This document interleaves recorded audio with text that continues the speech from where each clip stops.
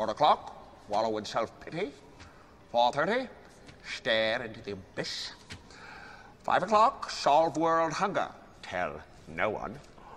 Five thirty, jazzercise. Six thirty, dinner with me. I can't cancel that again. Seven o'clock, wrestle with myself. Loathing. I'm booked. Of course, if I bump the loathing to nine, I could still be done in time to lay in bed, stare at the ceiling, and slip slowly into madness.